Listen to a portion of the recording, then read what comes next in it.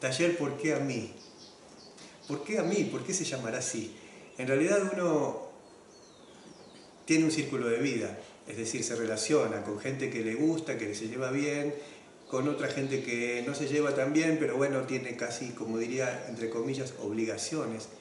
Y también se relaciona con gente que no le gusta y que no le hace bien. Eh, ¿A quién no le ha pasado de que en su familia hay alguien que piensa opuesto a uno? ¿A quién no le ha pasado de que sus propios hijos piensan distinto a lo que uno quisiera y uno quisiera darles todo lo mejor, pero piensan distinto?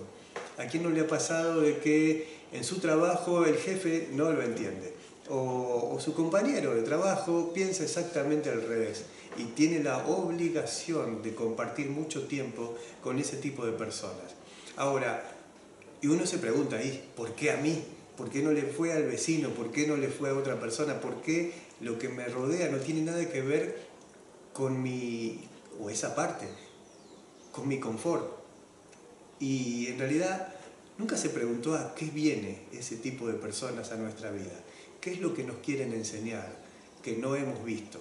¿Qué es lo que entrenamos con ellos que no entrenaríamos de una manera si no estuvieran en nuestro círculo de vida?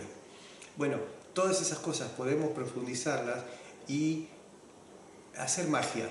Hacer magia en el sentido de decir, si nosotros estamos atrayendo a ese tipo de personas porque no comprendimos algo, si nosotros comprendemos, no vamos a necesitar atraerlas. Es decir, que esas personas o van a cambiar o se van a ir, se van a alejar de nuestra vida.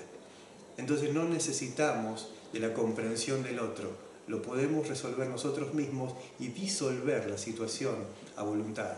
Eso hacemos en ese taller. ¿Por qué a mí?